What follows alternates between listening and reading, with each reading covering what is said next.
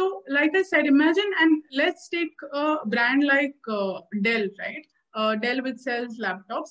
Whenever when Dell comes onto uh, social media, Dell already has a presence, right? Dell has done a lot of campaigns offline, has done a lot of campaigns on so uh, on uh, you know on in newspapers, outdoor. You know when you walk into a Croma, you see Dell advertising.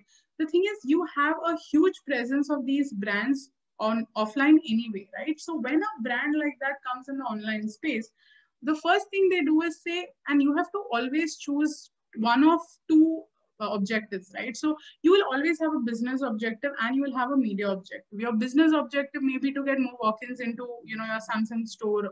You know, your um, objective may be to get more purchases. Your media objective, however, will be saying, I want maximum clicks or I want maximum video views, right?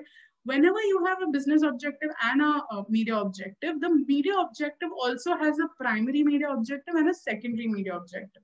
Now, in the primary and secondary, you start off by choosing one of these things. So I, what do you want to do awareness? Do you want to do consideration, purchase, delight, advocacy? Now this is, you know, technically our marketing funnel, but here is where you say that, listen, the campaign I want to drive, I'm putting one crore in it.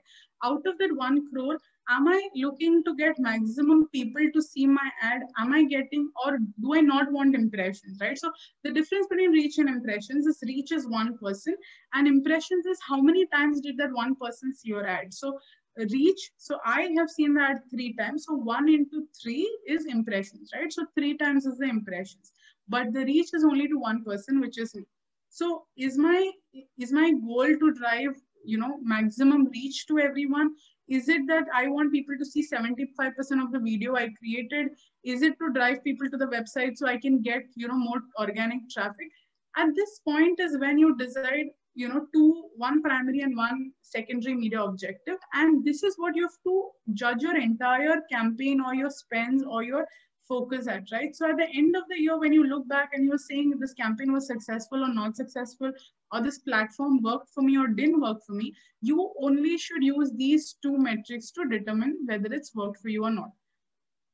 Now purchase, in purchase what happens is there are two things, right? One is you have new purchases, people who have, you know, not come to you or bought from you before that is the one where you do normal targeting and you get those guys. But what about people who are your existing people? Now, social media has an opportunity wherein you can remarket to people, right? You remarket to people who already are your customers, or you can market to people who are similar to your customers. So what you do is you take out your list of email addresses and um, or mobile numbers, you upload it on the platform. So upload it on a Twitter, upload it on a LinkedIn or a Facebook, right? And say that I want to show an ad to all of these people. So if someone has come and bought a, um, let's say a home loan from you, you can go and tell the person that, listen, I upload the database of those people. So this person's there in that and say that a new top-up offer available to you at 6% interest rate, right?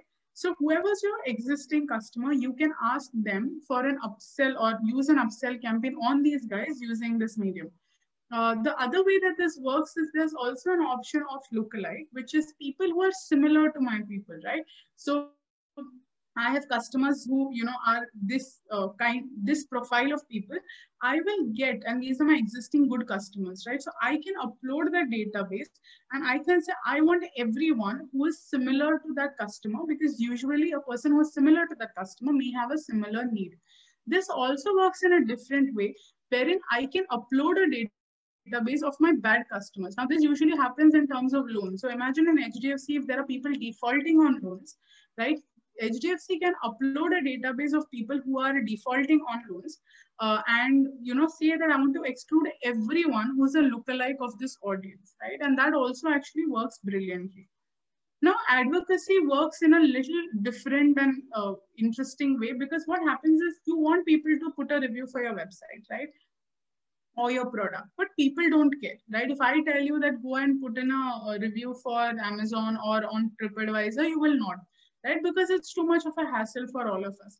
So what brands do, and recently, you know, I bought something from Pepperfry, and Pepperfry said that if you put a Google, and this was not a review, but it was a rating on Google Play Store for the Pepperfry app, uh, and upload the screenshot of that and send it to us on this email ID, we will give you 10,000 rupees of credit in your wallet for free, right? I actually, I had nothing else to buy, but I actually went and I did it just to see how it works. Within 72 hours, they actually gave me 10,000 rupees worth of um, credits back in my Pepperfry wallet, right? So a lot of companies, they understand how important it is because when you go to Google, uh, Google Play Store especially, you will see and basis the number of stars, right? You decide whether to download it or not. So advocacy is such an important thing that one person saying that this product is pathetic, you know, and most of the people will not buy, right? So if you're trying to buy, for example, a toaster on Amazon, and if you have out of 20 reviews, if you're one person who said that the toaster stopped working on day one, you will not buy the product, right? So advocacy has such a huge impact. So social media is one place where you can, and all of this, right? Pepperfry actually called me and told me this. But if they had to do it any other way, then they would have used social media to drive, uh, because that's the easier way, right? Imagine calling so many people up and saying, so you can use social media as something to drive positive reviews.